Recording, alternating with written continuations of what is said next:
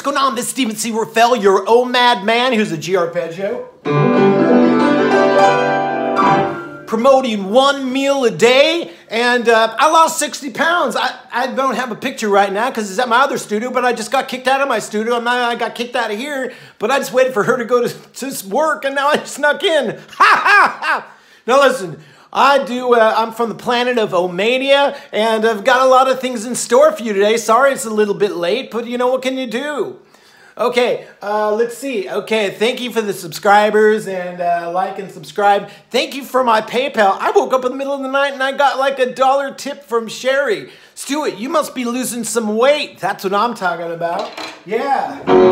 Thank you. Okay. Now, this is all about one meal a day. I lost 60 pounds in six months. And let me tell you something, I might repeat myself every single show, but repetition is the mother of skill. Repetition is the mother of skill. Okay, let's see. I do little comedy songs about fat people and stuff, and uh, about myself mostly because I was a, a, fat, fat man. I was a fat, fat man. I was a fat, fat man. I was chomping and chomping and chomping on the. You guys know I'm still gonna do my musical. Okay, and also all these songs that I'm doing, they're coming out on Volume 1, Volume 2, The OMAD Man. Okay, let's see. Now, uh, I want to first start off, guy, by giving you a little bit of value. I've talked about these probably 20 times on this show. I've got over 100 and uh, I don't know, 115 or 120 videos on from social situations. People say, hey, you're not eating.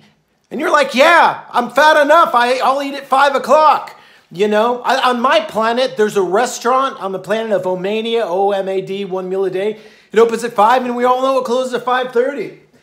You know, if it closes at 6, that's okay. I just eat slow. Okay, I, I've memorized 93 things. Now, uh, yesterday I did from 1 to 20. Today I'm going to give you uh, from 20 to 40. They're all memorized. Okay, check this out. You're, you're going to be in control. You're not self control. You won't be going, uh, what restaurant will I be going to? Uh, what restaurant? Okay. Your BMI will be incredible. I have no fat. Just be honest with you. I'm here I'm from California, but I'm here in Nebraska and I'm freezing. That's one of the drawbacks of OMAD. OMAD is the diet for me, but it's a lifestyle. OMAD I have a degree at OMA University. Okay. That's one of the drawbacks. Okay, another thing is you're going to get into your hobbies because you're not going to be eating all day long. You know, so uh, I got some uh, coffee here from Czechoslovakia.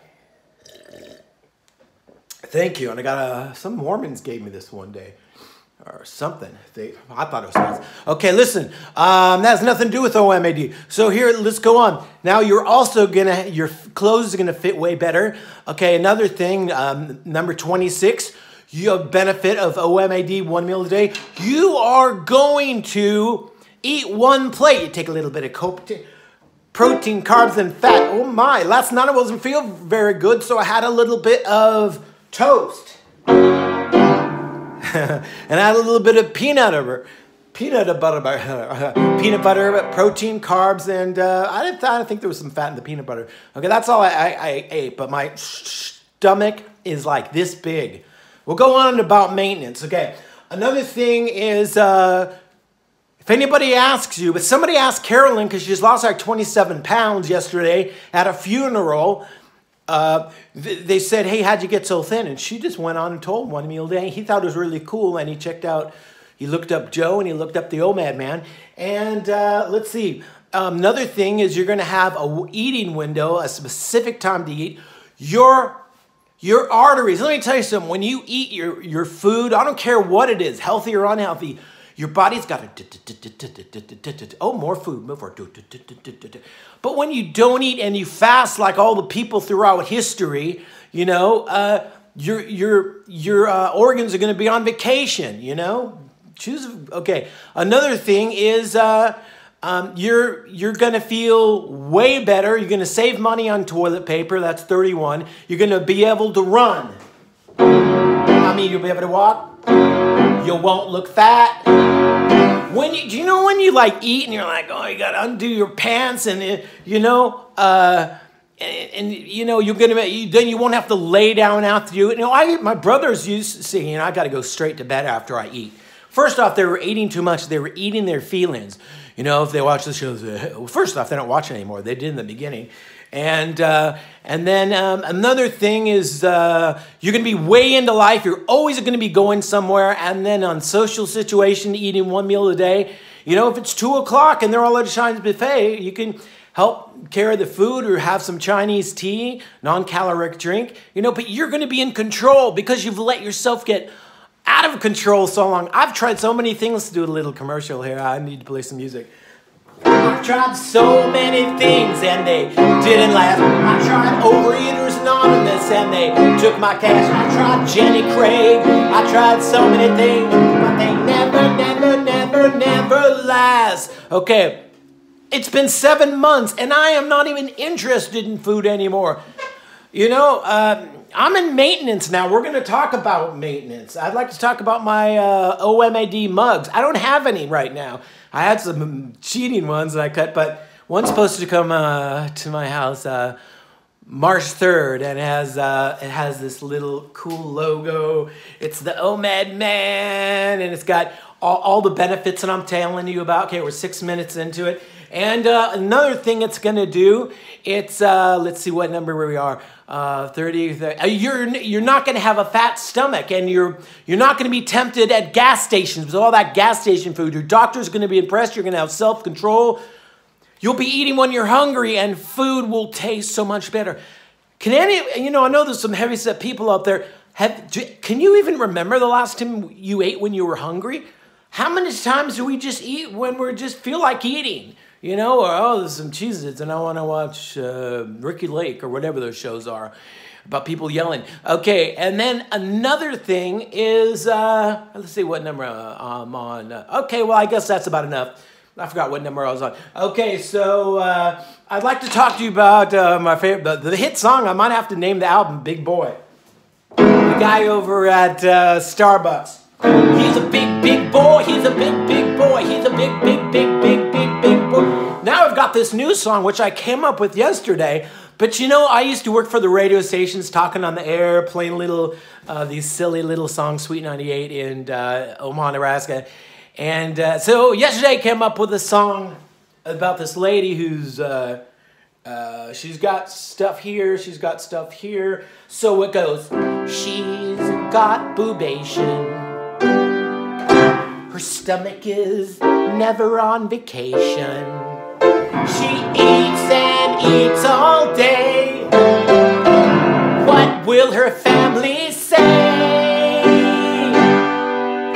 She's big, she's big. She eats just like a pig. What can I say? about her. You know, I could say she give her my number, and we could start doing these uh, things online, and I could get. All people have to do is watch the show because I'm going to say the same things over and over. I'm someone who lost it. Don't listen to your fat doctor, your fat nurse, or somebody goes, uh, we need to get the temporal of the caution and also the lipolysis of Korschmann. And also, um, if you're thinking about um, using a um, a treadmill. You need to get your heart rate up and down. Are you a, are you a, uh, what do you call it? Are you a hamster? You're walking around in that thing or on the thing, and then after that, after you, oh yeah, I worked an hour, and you go take a shower, and then you go out to lunch with your friends. You know, it's so embarrassing, you earthlings. Okay, let's see. Uh, I was bipolar, but now I'm feeling better. My family still doesn't like me sometimes. OMAD, I was so crazy. I don't know what to say. Okay, nine minutes into the show. Okay, I'd like to talk about, uh, we're going to go for the Zen proverb.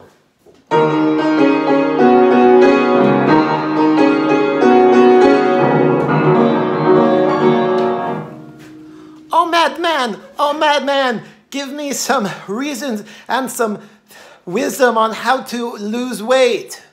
Okay, grasshopper. This is some poetry from the good book.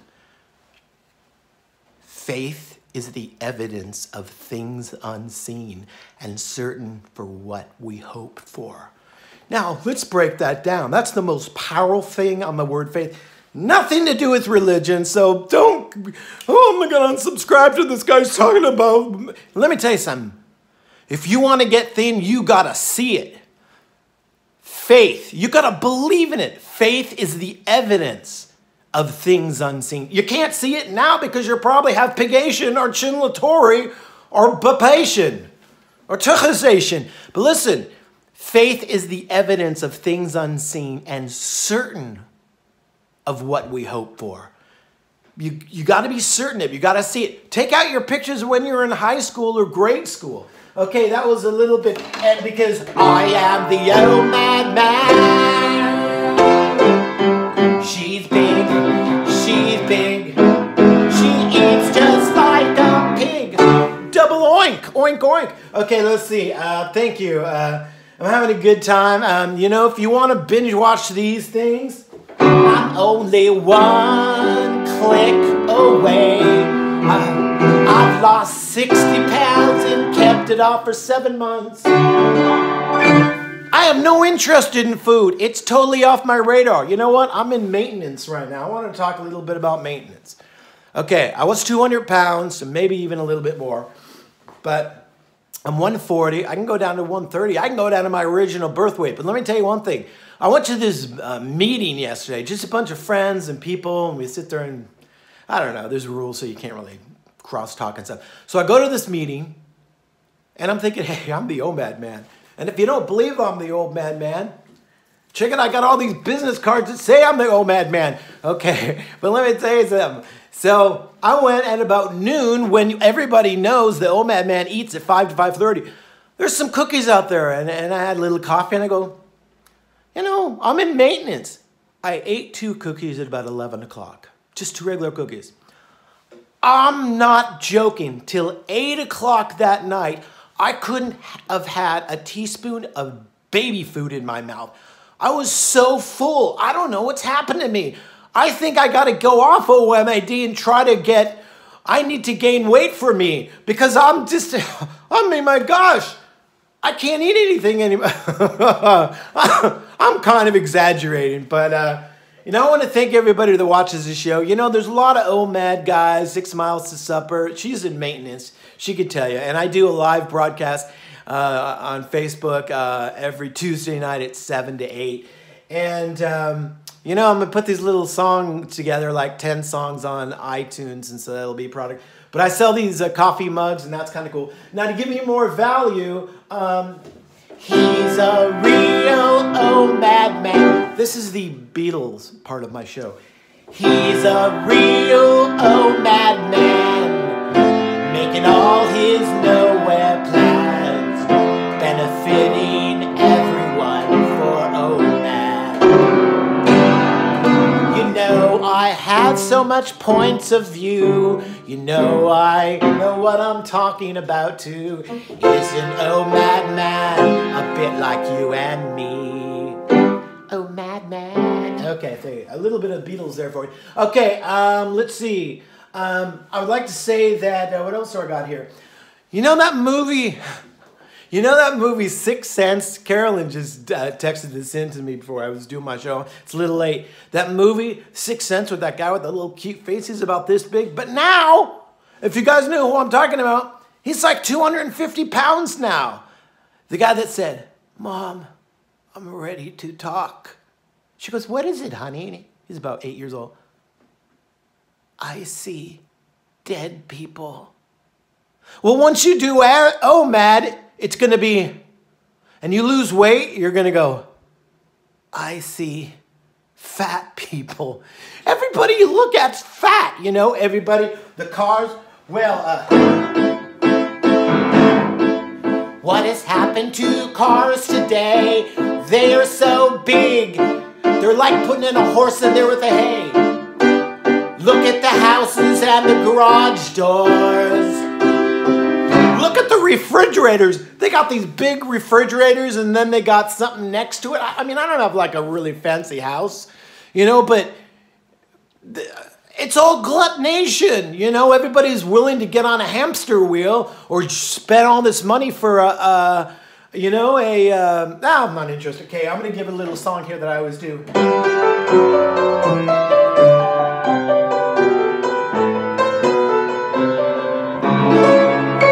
Okay, well, uh, we're basically a kind of, uh, I think that pretty much covers it. Faith is the evidence of things unseen and certain for what we hope for. Visualize, get that picture and look at it. If you have to tape it in back of your wrist, take it. Um, I just wanted to say.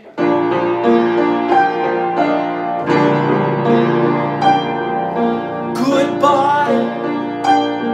It's March 1st. Join my Facebook fan club and post a picture of you first. Goodbye, everybody. We've got 20 seconds left. Okay, well, I want to thank everybody. Thank him. Now, we didn't even talk about it.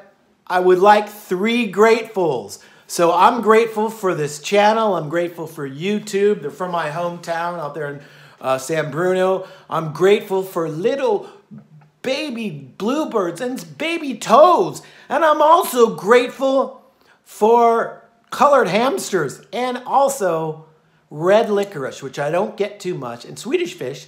I'm also grateful for the color of the snow and uh, I'm going back to the planet of Omandia. Thank you for putting up with me, and I hope you liked it. Send me your three gratefuls.